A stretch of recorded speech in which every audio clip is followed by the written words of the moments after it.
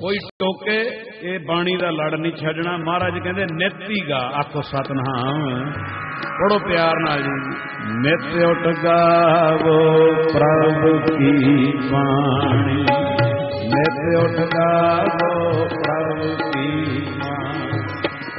ਆੜ ਪਹਿਰ ਹਰ ਸਿਮਰੋ ਪ੍ਰਾਣੀ।